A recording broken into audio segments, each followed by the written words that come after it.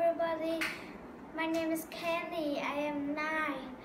I love pink candy, strawberry, and ice cream.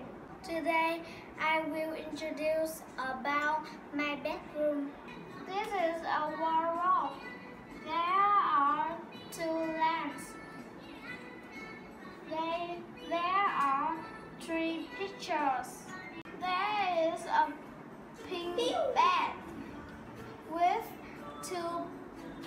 pink pillows.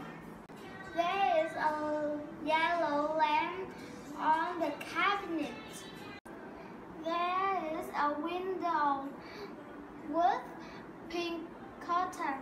There is a chair table with many books, notebook, pen, and lamp.